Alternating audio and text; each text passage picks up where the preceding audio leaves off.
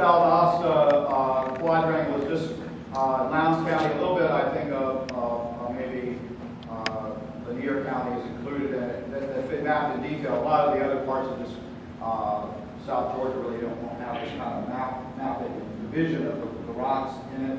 Some of this is pretty, uh, actually a little maybe too detailed, the way it's all divided up. But the top part is, um, is coastal sand from a beach, what's called the Miccosukee Formation.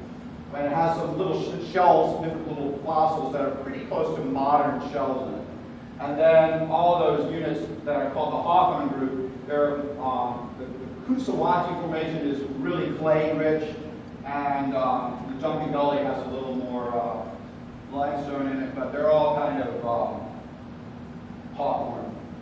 So he, he, and then the Suwannee limestone is still uh, not, oh, not really included in the aquifer of the upper Florida. It's ol- oligocene limestone, so uh, the, the limestone that's the upper Florida is the Old Ocala limestone.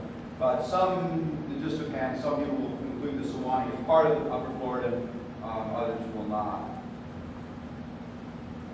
In the place where the, uh, we, we visit the Withlacoochee River, uh, you basically have loose sand in the walls of this big sinkhole here, and the floor of it is on this hawthorn group, which is uh, clay-rich um, material. And then that, that picture I showed you of the, the, the entrance to the cave is basically going into this uh, hawthorn.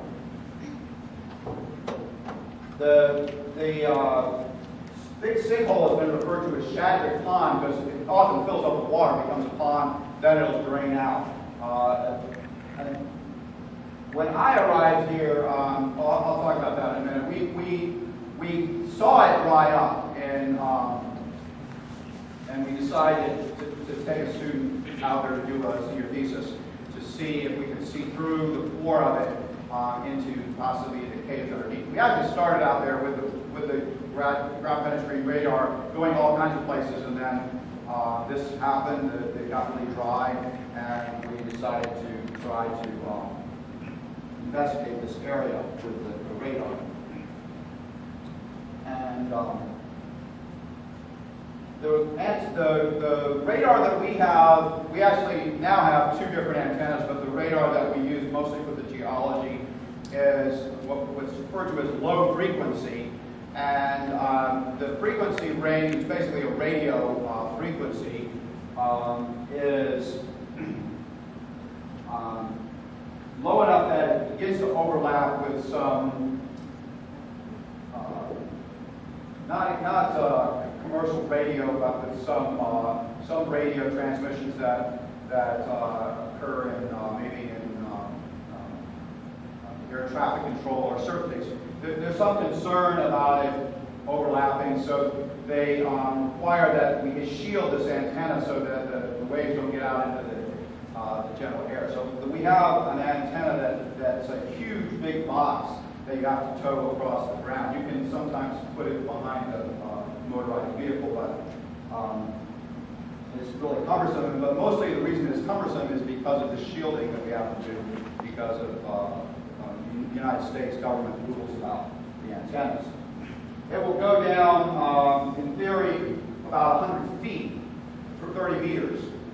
Uh, we haven't been able to see that deep but in theory it should penetrate that deep, especially if you've got really loose sand. I don't know, Becky has been doing a project with a dune, so it might, we, we haven't really, but we're, we're, we're still tinkering with how deep we can get it to work. Um, but we got information, good information about uh, 10 to 15 meters of the project that I'm uh, summarizing here. And um, this is the, the number one on this map is that um, that thing that's basically referred to as a pond or lake on the topographic map um, until uh, I was here two or three years before I'd ever seen it dry. So nobody really remembered it being dry.